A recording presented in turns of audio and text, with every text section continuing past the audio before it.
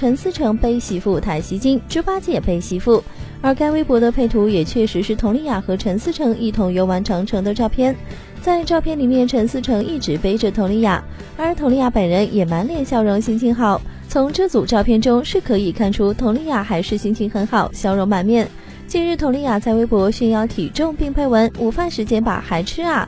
来吧，互相伤害吧，就是这么不厚道。”照片中，佟丽娅站在电子秤上，上面显示体重只有四十二点三千克，也就是说，佟丽娅只有八十四点六斤，这体重简直要让人嫉妒。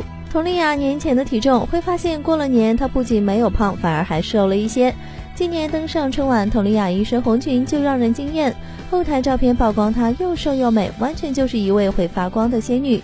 可是透过路透照也能看见她真的好瘦，胸口的肋骨清晰可见。在我们羡慕的佟丽娅身材的背后，她也放弃了体味美食的快乐。怪不得佟丽娅会发一张年后照片和年前照片对比。